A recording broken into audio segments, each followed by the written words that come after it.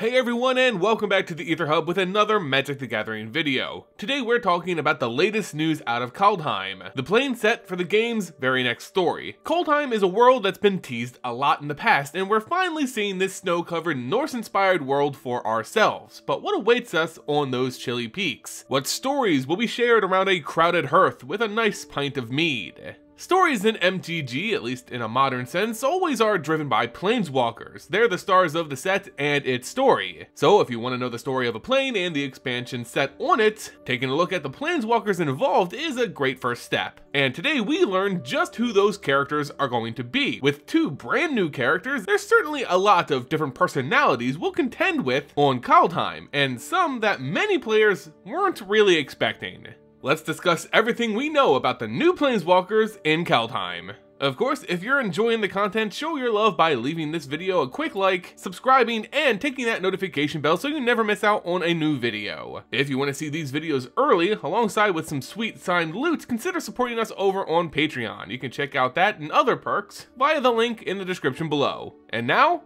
back to the lore.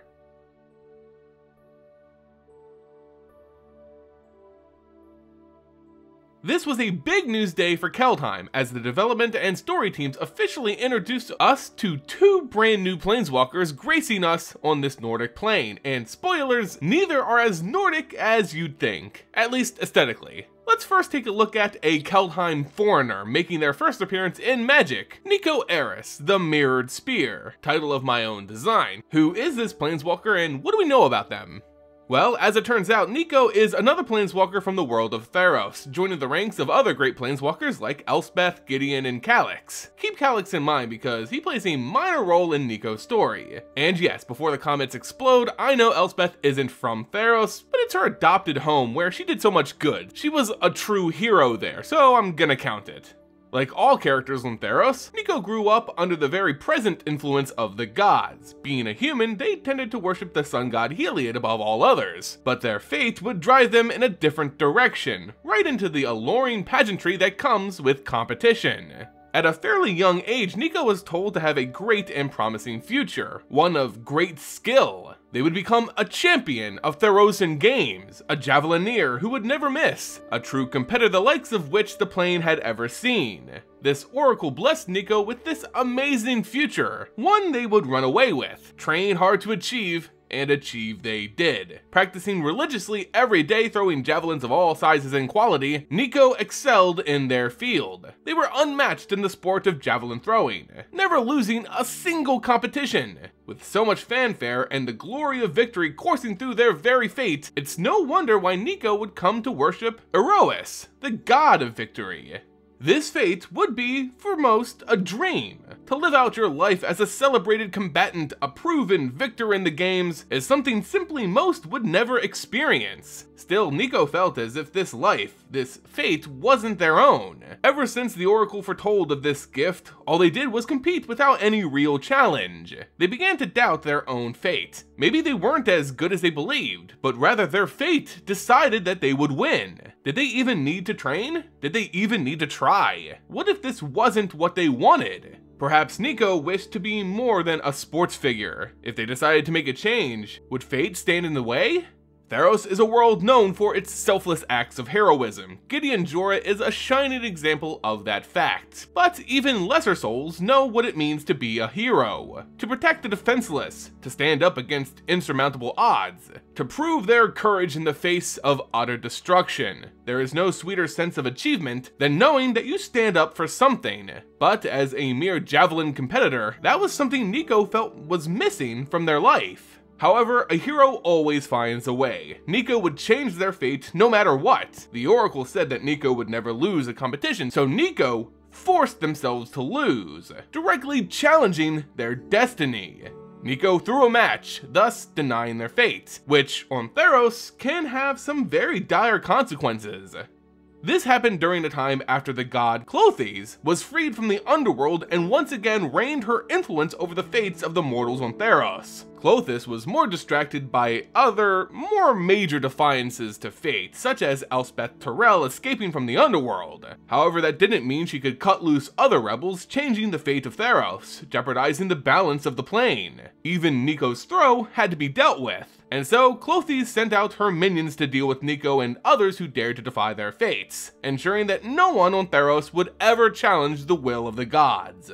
Niko encountered this agent of Klothys, who is still unknown at this point, but we assume they played a similar role to Calix. Yes, Calix is a planeswalker created by Klothys for the explicit purpose of tracking down Elspeth Tirel and bringing her back to the underworld. Calix is a planeswalker because Elspeth is a planeswalker, and for fate to remain unchanged on Theros, Klothys needed an agent who can track Elspeth no matter where she traveled to, even if it was to another plane.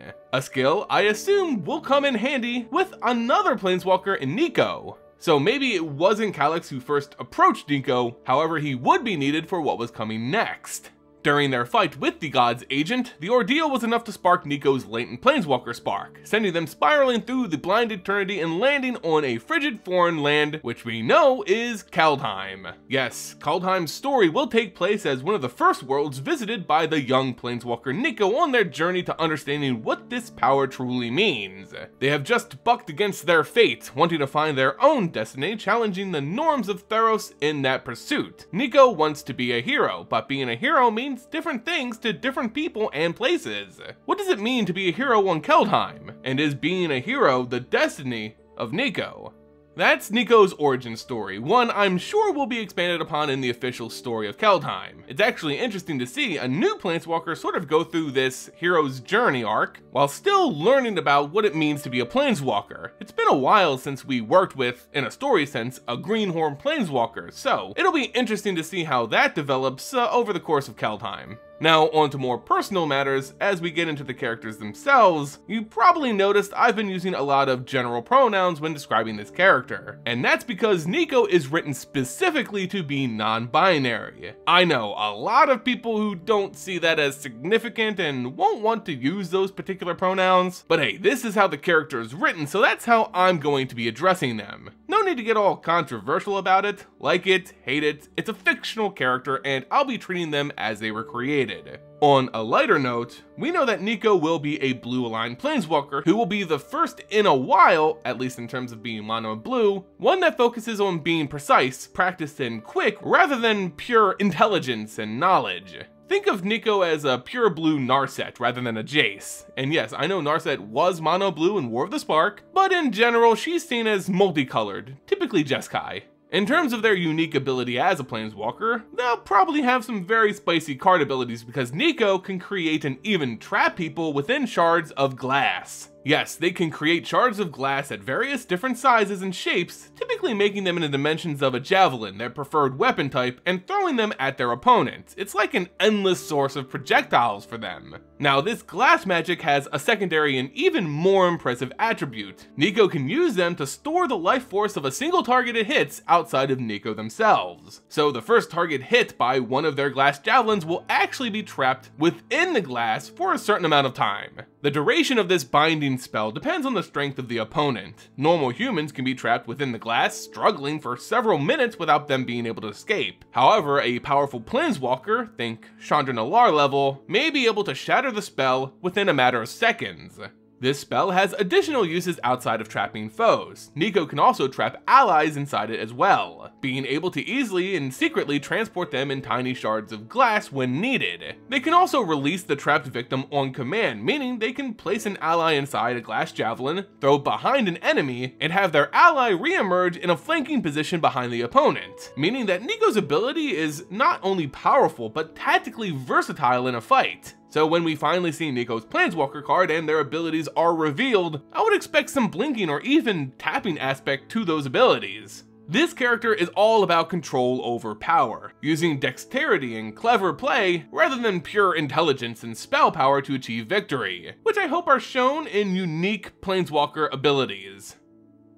Next, let's move on to our first and only native planeswalker of Kaldheim to be featured in this set. And if you were expecting a burly Nordic Viking, well, prepare to be disappointed. Kaldheim's own homegrown planeswalker is an elf named Tyvar Kell. What is his story and how do Kaldheim elves differ from those on other planes? We actually don't get too much in terms of Tyvar's origin story. We know that he's a member of one of the two major clans of elves that inhabit Kaldheim, two distinct people, the Wood Elves and the Shadow Elves, who have more recently been brought together under a single banner by King Harald, the older brother of Tyvar. And that's basically all we know of Tyvar's story specifically. We don't know yet when his spark ignited or if it will ignite over the course of Kaldheim's story. It's not specifically mentioned that Tyvar is a planeswalker during the story of the set, so I can easily see him starting off as just another elf, albeit a famous one, who eventually sees his spark ignite in the story. What about Tyvar's personality? As an elf, what sort of traits does he sort of incorporate into his character? Well, being the younger brother of a great and well-loved king who united a people for the first time, you can see how jealousy and resentment could take root. We've seen that sort of development in characters in the past. However, Tyvar isn't your normal character, he's anything but average. Rather than growing dark, treacherous thoughts, envious of his brother's success, Tyvar celebrates and is inspired by Harald's deeds. In fact, Tyvar sees them as an example, a challenge to always push for greatness, to never shy away from a challenge, and to bolster those around you for the betterment of all. He's literally the most mentally confident and, frankly, well-adjusted character I've ever seen in Magic the Gathering. He sees the positive in things that would almost always sour another character in Magic story.